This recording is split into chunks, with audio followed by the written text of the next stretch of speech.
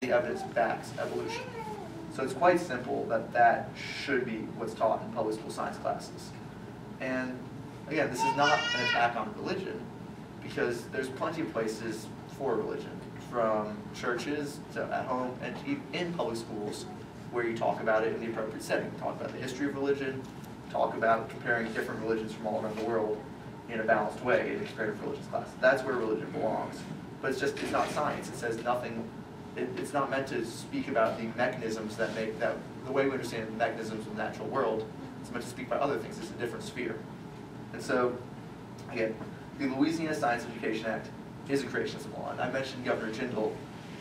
He explained exactly what the purpose of this law is for. He said, we have what's called the Science Education Act that says if a teacher wants to supplement these materials, if the school board's okay with that, if the state school board's okay with that, they can supplement these materials. I've got no problem if school board, a local school board says, we want to teach our kids creationism. Some people have these beliefs as well. Let's teach them intelligent design. Then he asked, what are we afraid of?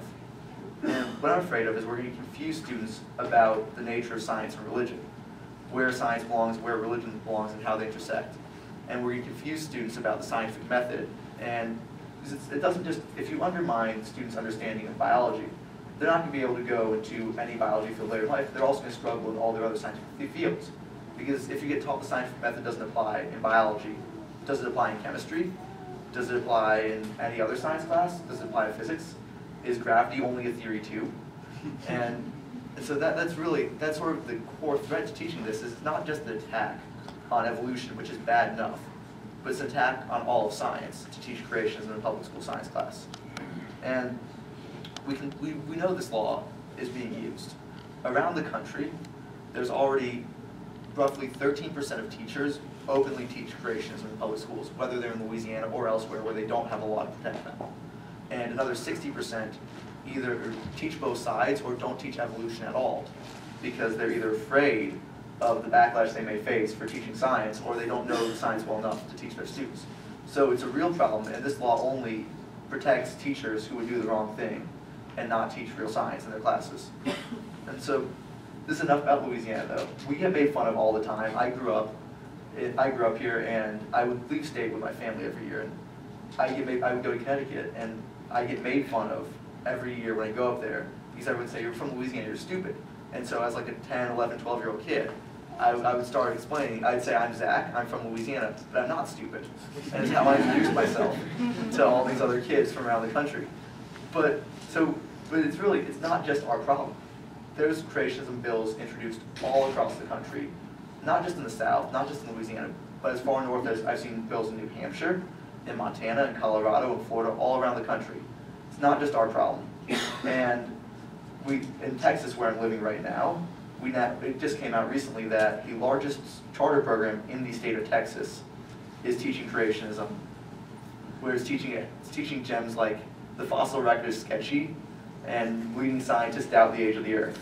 Um, and also their history material is subpar. I'm, a, I'm actually a history major, so that hit me the hardest, I think, where they explained that the uh, cause of Japan's involvement in World War II is that the samurai were expansionists. Now the problem is the samurai were disbanded about 1876, I think, which is a little bit before World War II. That there's a wide variety of faiths who support the teaching of evolution. My favorite quote is one from Pope, Pope John Paul, which is, there is no conflict between evolution and the doctrine of faith. It's a great quote to use if anyone thinks there's conflict. You say, well, if you are one of the world's largest religions, there's no conflict. Many mainline Protestants agree there's no conflict. Many other people, many faiths, agree there's no conflict between evolution and their faith. So that's a, that's a point I think while I'm here at Centenary, it's very important to hit and help get that message out. And in the repeal of the Louisiana Science Education Act, we actually have roughly 14,000 clergy members on board from the Clergy Letter Project, which is an organization that has clergy members affirm their support for teaching evolution in public schools and their support for evolution.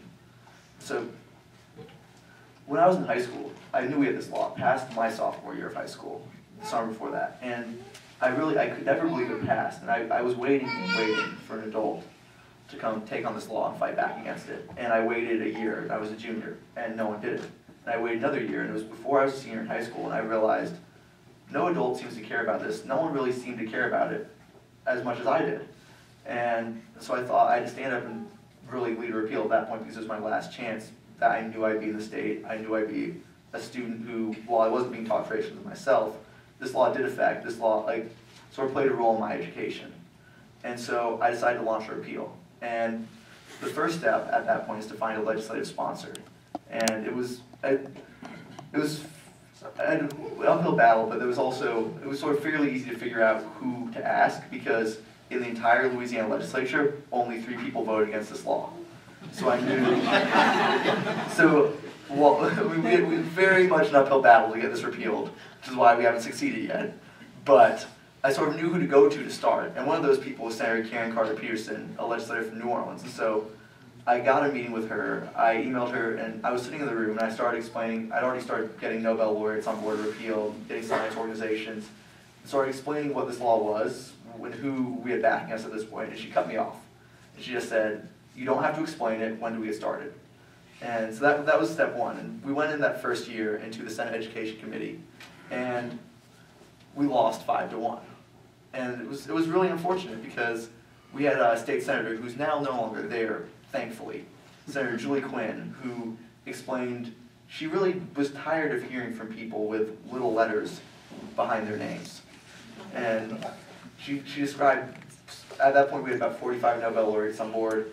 We had the largest science organizations in the world, the largest biology organizations in the world, the National Science Teachers Association on board. It's all the people you want to listen to about science and science education policy. but, uh, but apparently, apparently not if you're a Louisiana legislator. So that was year one. We lost five to one there.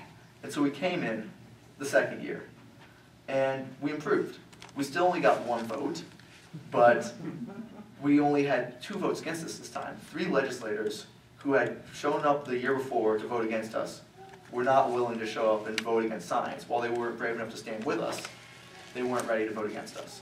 And so we made small progress there, but we had a new legislative celebrity. Um, the year before was Senator Quinn with little letters. And this year, um, it was Senator Walsworth, or last year was Senator Walsworth, who I think he represents an area somewhere nearby here, I think in Monroe. And, uh, and he explained that uh, he, didn't, he didn't like evolution because he, he there, there's this great experiment, uh, if you all have time, if you haven't heard of it, go look up Richard Lenski.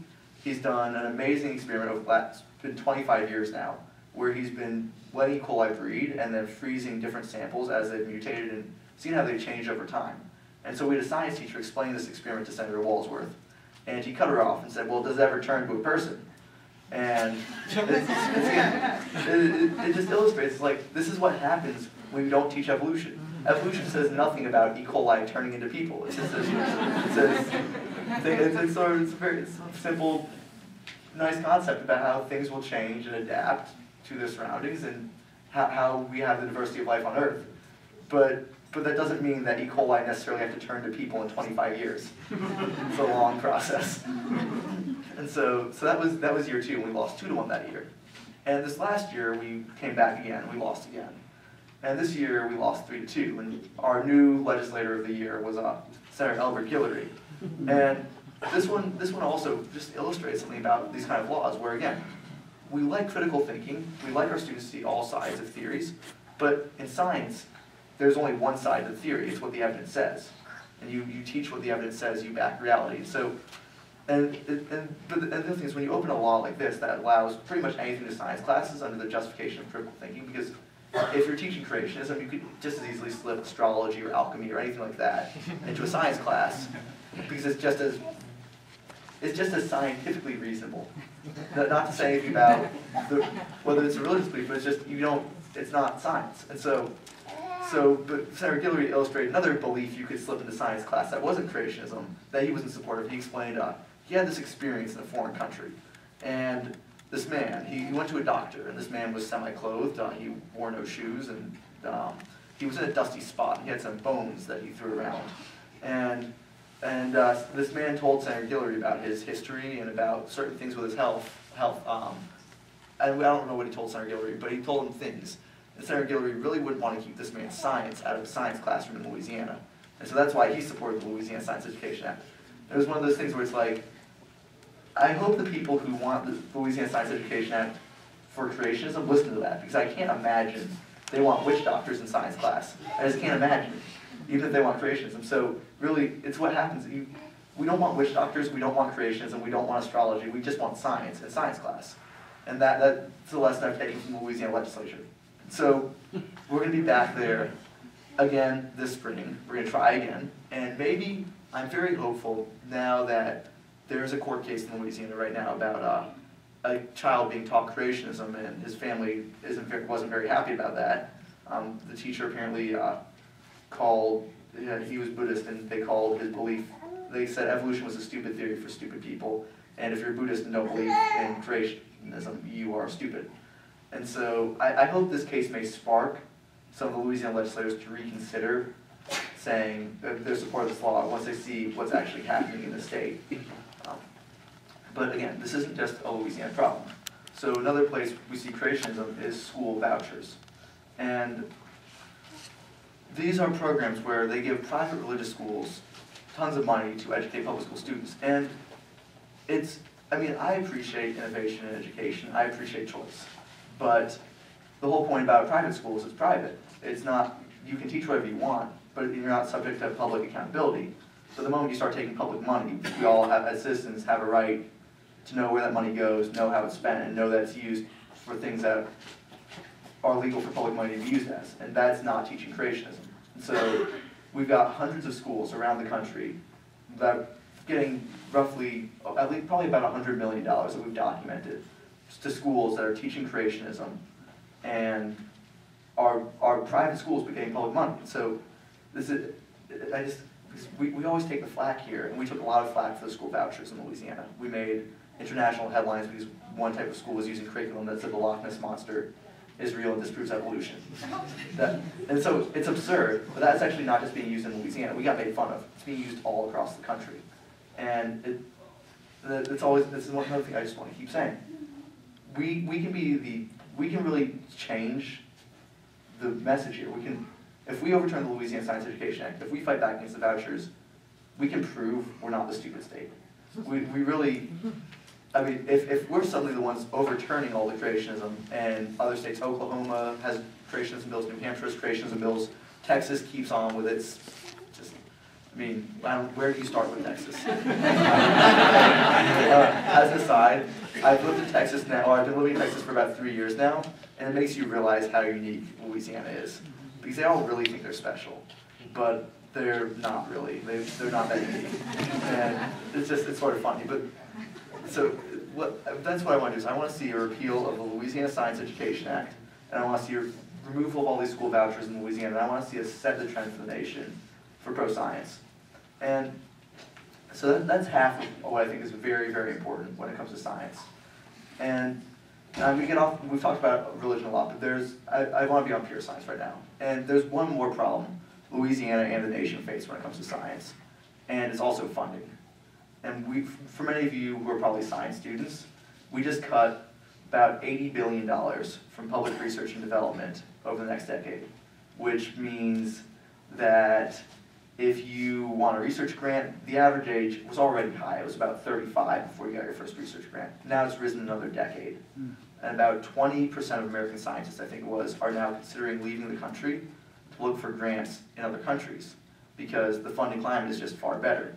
So along with not teaching our kids science in America, we're also really just undermining, even if we teach them science, they're not gonna have jobs, they're not gonna have the ability to research when they come out of of high school or college, and that, that's just as that's just as devastating to me as not teaching evolution, as not teaching science, right?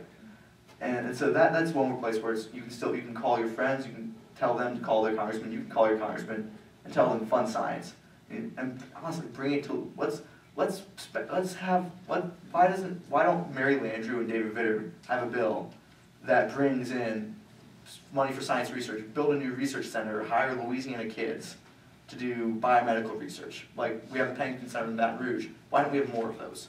It, it seems like something that would be great. And, and I think, I mean, I think everyone in this room should send a letter to their House and Senate or U.S. Congressman, and demand they fund science because that, that's, that's sort of the national, that's where you can make a difference on the national level. Um, state level is with the creationism, on the national level, call your congressman. And, and I really, I